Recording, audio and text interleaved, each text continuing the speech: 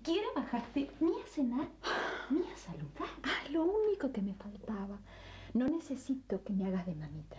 No digas pavadas. Junior es un tipo fabuloso, por eso me da bronca. Y si es tan fabuloso, ¿por qué no te quedas con él? Así tendrías un hermanito de repuesto. Cuidado con lo que decís. Cuidado un cuerno. Me pediste que plantara a Tomás y lo hice. ¿Qué más querés? ¿Me vas a pedir que me case con Junior? No, primita. Eso nunca. ¿Por qué no? Yo creo que los dos hacen una muy linda pareja. Es lógico. Son tal para cual. ¿Nunca escuchaste hablar de la media naranja? Sí. ¿Mm? Y también de una mujer medio tarada. Mejor me voy. Eva, espera. Pensalo. Tu chiquito necesita un padre, ¿no? Bueno, lo mejor es preferible que gane un padre una madre.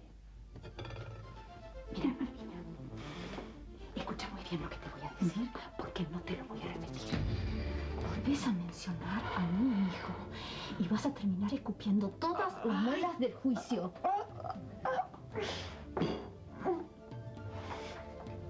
No me amenaces, falsa madre. Voy a dejar pelada. ¿Qué te voy a hacer? No te voy a soltar. Me estás tirando del pelo. Voy a dejar pelada. Pelada sí. Pelada no. Pelada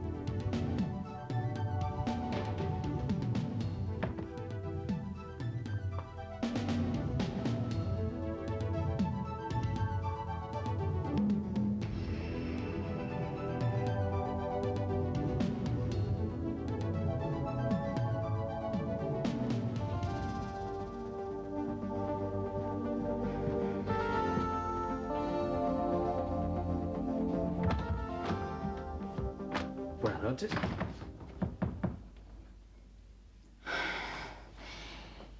No puede ser. No puede ser. Esto es un castigo del cielo. Un premio, diría yo. ¿Cómo estás, Eva? Mira, Rubio. Recién casi mato a tu novia. Si no salís ya mismo de acá, te voy a partir algo en la cabeza. Mira que yo soy un cabeza dura. Te la voy a ablandar a golpes. ¡Salí de acá! Baja la voz, colorada. No querrás que nos sorprendan aquí, ¿verdad? Miserable. Pero ¿qué manera es esa de tratar a un amigo? Porque ahora somos amiguitos. Así que háblame con dulzura. A ver. ¿Te olvidaste del anillo que te regalé? Amiguitos. ¿Qué es lo que querés?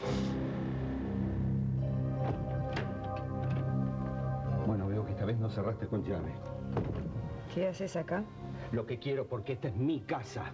Ándate. No, no me voy a ir sin que antes me contestes algo. ¿Qué cosa? ¿Qué hiciste con Lucila? ¿Qué le contaste para ponerla de tu lado? ¿Qué le contaste, Renata? Sí, Eva, sí. Yo siento que, que sos muy, pero muy amiga mía, casi como una hermana. Y, y pienso que ese sentimiento debe ser algo mutuo. ¿No pensás así? Si vos lo decís. Es lo que digo yo. Somos como dos almas gemelas. A propósito, ¿vos crees en la amistad entre un hombre y una mujer? Mucho se ha dicho sobre este tema. Hay quien no cree, quien no concibe que un hombre y una mujer puedan relacionarse fuera de la cama. Otros, por el contrario, piensan totalmente distinto.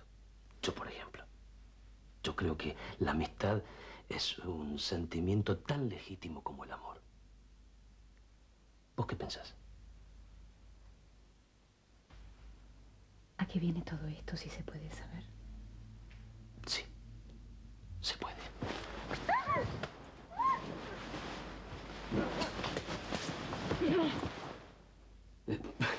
Veo que no te soy indiferente, ¿no? ¿Qué querés? Poner las cosas en su lugar. Primero, me volvés a pegar y te vas a quedar sin brazo. Segundo, ya te entregué el resultado de mis análisis y habrás comprobado que soy sanito. Y tercero, no me voy a casar con vos ni nada de eso.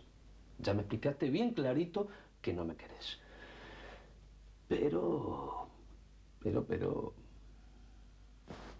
¿Pero, pero qué? Vos me gustás. Así que... Pienso hacerte el amor. Con o sin tu consentimiento. ¿Me vas a violar? No. Te voy a chantajear. Parece que el chantaje está de moda últimamente.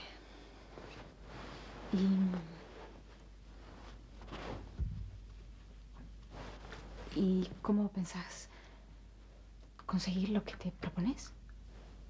Besándote. ¿Y si no te dejo? Entonces me tenés que decir la verdad. ¿Qué verdad? Vos sos una impostora. No sos la nieta de Rosalía Pacheco Huergo. ¿Te acordás que una vez te lo dije? Muy bien. Ahora no me vas a poder engañar, chiquita. Y no pienses que soy un miserable porque no lo soy. Al contrario. Yo... Yo sé que vos no tenés un apellido muy importante. Entonces, voy a ofrecerte de nuevo, después de hacerte el amor, que seas un Álvarez Toledo.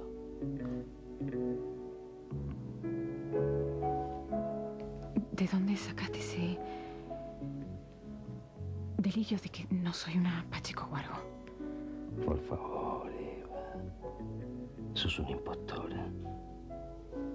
Y yo lo sé.